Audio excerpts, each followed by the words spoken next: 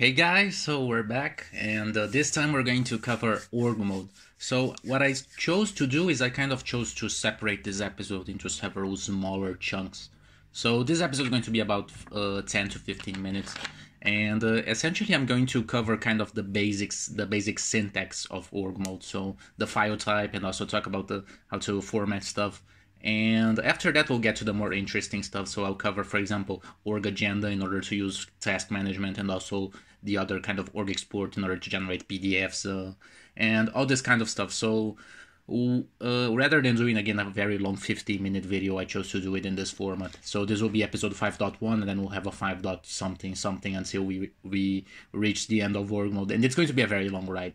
But what I'm also going to do is I'm going to talk about Lisp on the next uh, on the next real numbered episode, and then we'll jump straight into the packages. So we'll get to the most uh, uh, interesting stuff again. But uh, regarding org mode, so essentially org mode is a is a major mode that corresponds to a file. So you notice that I have an, a file open which is called orgbasics.org. So org is essentially a file type that Emacs manages uh, through the major mode, which is called again org mode. And this major mode it provides some uh, some very nice uh, features, such as again kind of this syntax uh, highlighting. So this coloring, for example, is done by org mode, but uh, also outlining and other kind of uh, features. For example, this is what we call kind of a section header, and this corresponds to an H1 header if you look at the HTML. So this is essentially kind of a top uh, a top header of my document, and then I can press tab on top of it to toggle and to kind of uh, show the contents of this. So essentially by default, this is going to be kind of hidden, and then I can show it by pressing tab. So if I if I go with tab, I can kind of cycle through the sections and subsections that exist inside. Now, I also have a, a second section, uh, which will rather I also have a subsection, and you notice the difference is that here I use one uh, kind of asterisk and here, in here I use two. So I can keep going indefinitely. I can make, for example, a sub subsection just as an example. Now, once again, org is a file type and it is a major mode. So this major mode is what provides me with what we are seeing right now on the buffer. And this works very much like Markdown. So in fact, you can even write kind of your readmes for GitHub using uh, org mode and uh, GitHub is nice enough that it recognizes this file type and it renders it as if it were Markdown. Now, uh, if I talk about some of the features, so the basic, the most basic thing that you can do in, the, in any kind of outlining tool is you can do lists. So they come in two types in org mode. You have the kind of un- unordered lists, which are essentially the bulleted lists.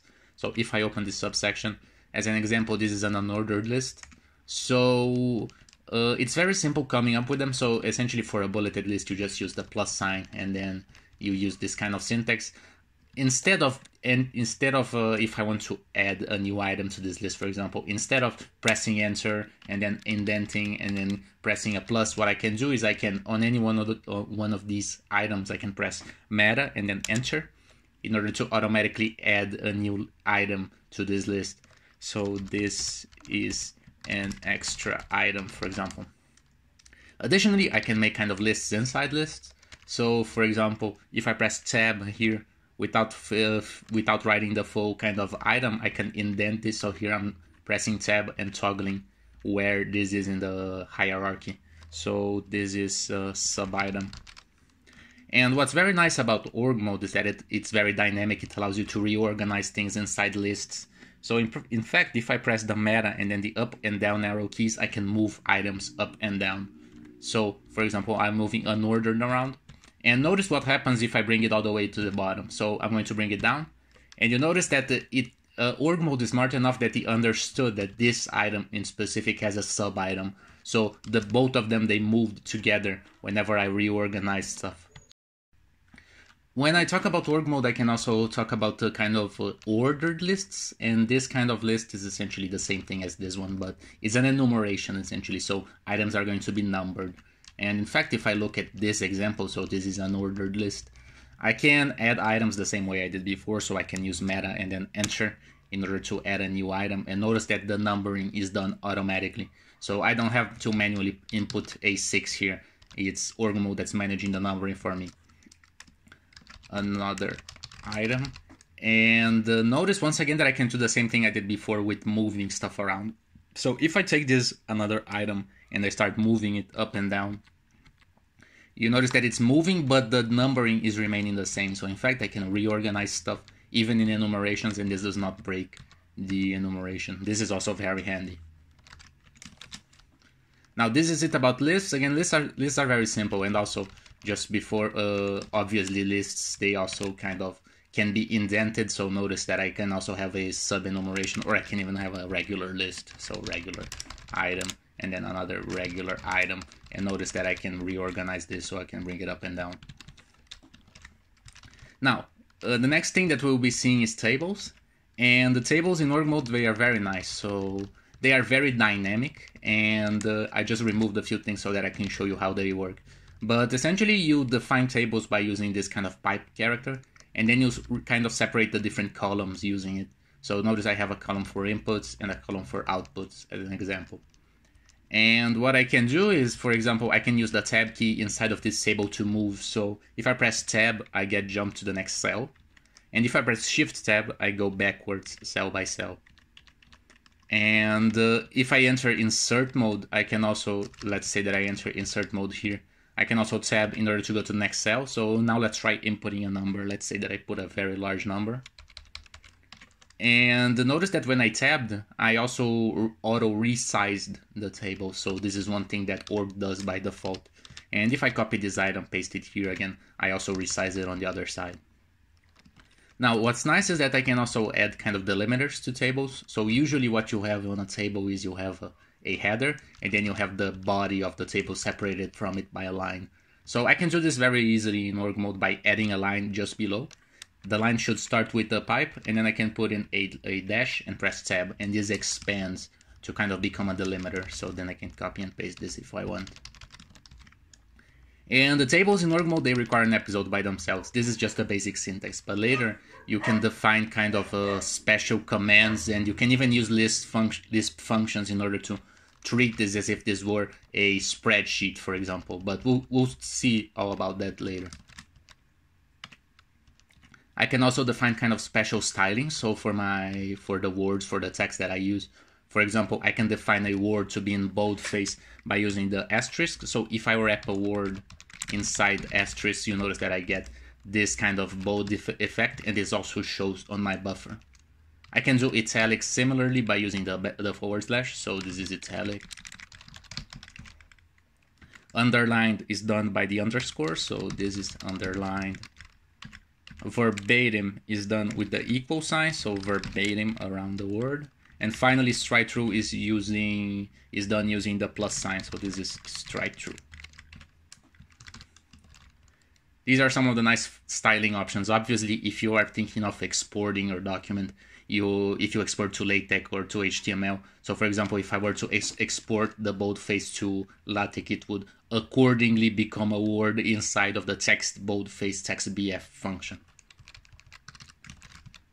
This is styling. And then another very cool feature of uh, links that we'll get to use more in uh, future episodes is the cap capacity to use links. So in fact, I can link to anything. I can link to a file, for example. You notice that if I mouse over, I get this kind of a tooltip that's that says that this is a file on my home folder. So this is my .emacs. If I click on it, I get to the uh, to the kind of file. I can also press Control Shift Control O in order to open this the same way that I did by clicking.